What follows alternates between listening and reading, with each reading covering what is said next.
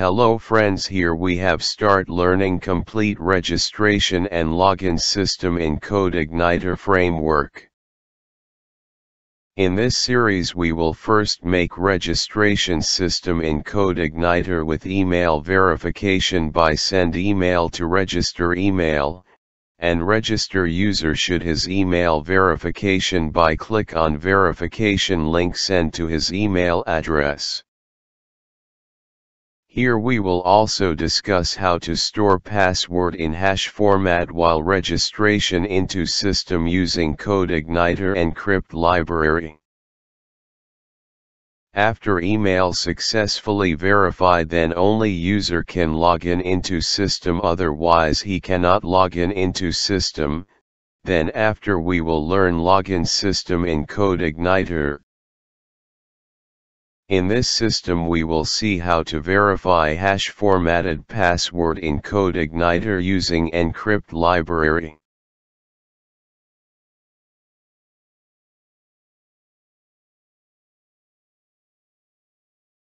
Now let's start discussing this topic, so this is our testing database, and under this we have one CodeIgniter register table. In this table we have five table column like ID, name, email, password, verification key and is email verified table column. When user has register into system then data will be store under this table, and password will be store under hash format, and at the time of login system will verify user details from this table also.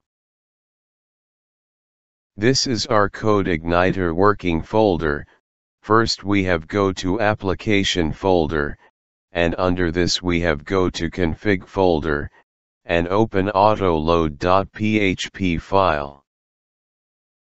Under this first we have to define some autoload library, so during code execution we do want to load library again and again.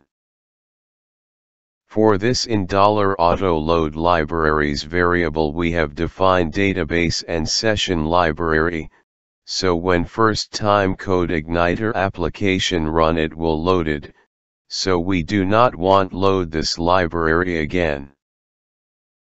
Same way we want to auto load some helper also, so in $auto load helper variable we have define URL and form helper, so in code we do want to again load this helper.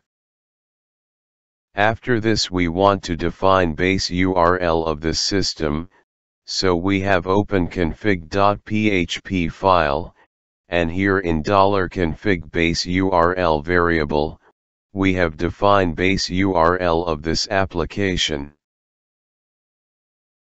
Here we have use encryption class and session library so we want to define encryption key for that. So here in $config encryption key variable we have define encryption key.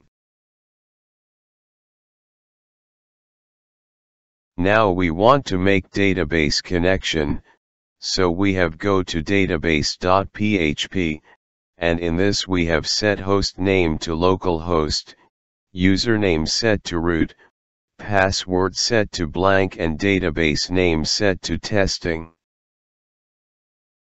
After making database connection, now we are ready for make registration form, for this we have to go register.php controller file, which we have already make.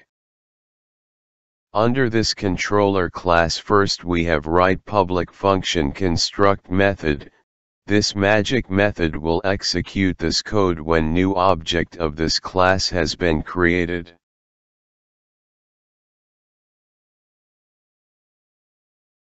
Under this we have write parent class construct method, here we have extend parent class construct method.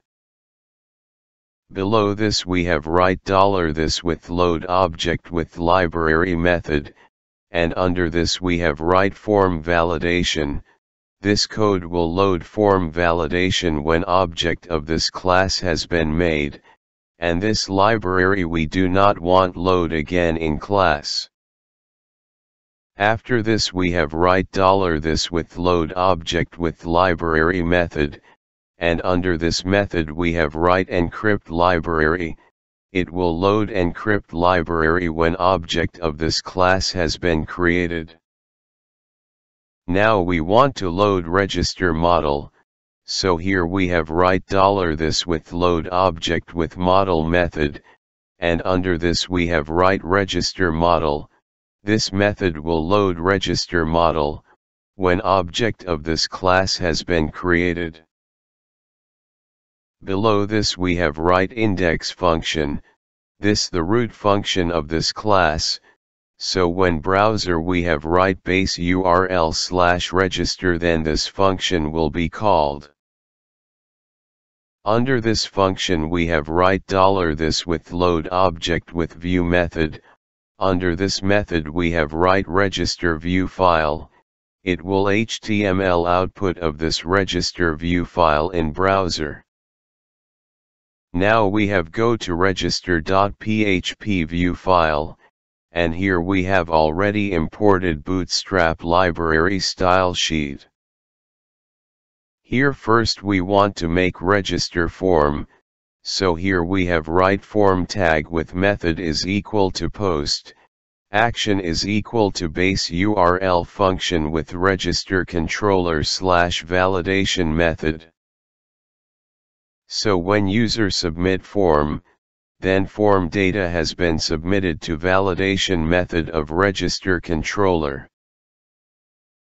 Under this form we have write input type is equal to text, name is equal to username, under this text box user can enter his or her name. Here we have also write value is equal to set value function, and under this we have write text box name username, this function will remember this field data, if some validation error has occur, and page redirect to this page again, then this field value will not be lost. Now we want to display validation error for this field, here we have write echo statement with form error function with text box name username, it will return validation error for username field. For enter email address details, here we have write input type is equal to user email, under this field user can fill his or her email address details. Same way for remember value for this field, here we have write value is equal to set value function, and under this function we have write this field name user email.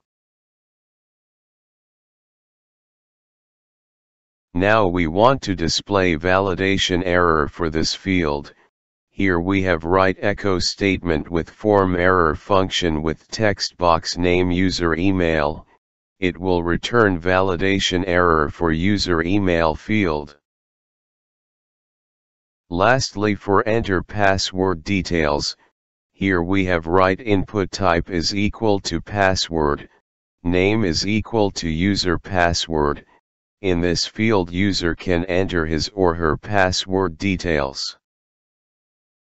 For remember value for this field, here we have write value is equal to set value function, and under this function we have write this field name user password.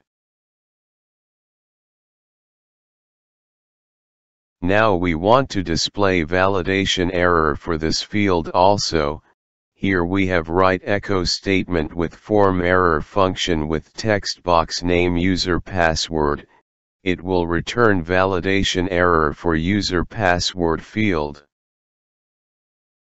For submit register form details, here we have write input type is equal to submit, name and value is equal to register, by click on this button, this form data will be submitted for validation method of register controller.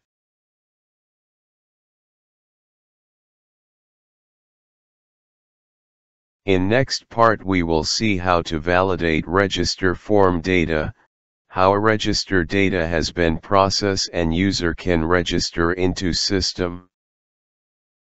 If you have any query or input regarding this video tutorial, please comment your query or input in comment box or if you like this video tutorial please share with your friends or even you can also share on social media also. If you want to get more update regarding our video tutorial, please subscribe our YouTube channel for get more update regarding release of future video. Lastly keep watching our YouTube channel. Thanks for watching this video tutorial.